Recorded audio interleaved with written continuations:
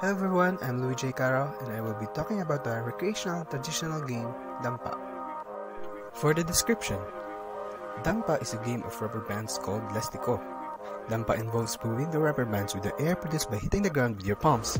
To produce a compressed air, your hands should be put together, palms down, and arched like a dome before hitting the ground. This can be played on any flat surface by a minimum of two players. The objective of this game is to move the rubber band forward from a line. For this game, it is very simple because the only materials that you need to play this game are rubber bands or elastico.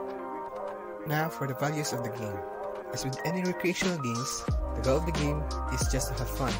While playing the game, it is important that you must have strength in your hands to produce enough air.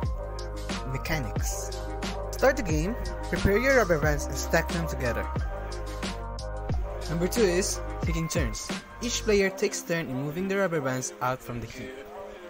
Third, getting the first strike. The player whose turn is in must aim to dislodge an odd number of rubber bands from the heap. He loses a turn if he displaces an even number of bands. Fourth, aiming for the win. The player's next aim is to move an odd number of rubber bands beyond the designated line. When successful, he wins the round and takes the rubber bands that went beyond the line as his loot. But if a player moves an even number of rubber bands beyond the line, his opponent takes those. And for my final note, since this game is simple enough, you should be a little bit competitive to wrap up the game while playing with your friends. And thank you for listening.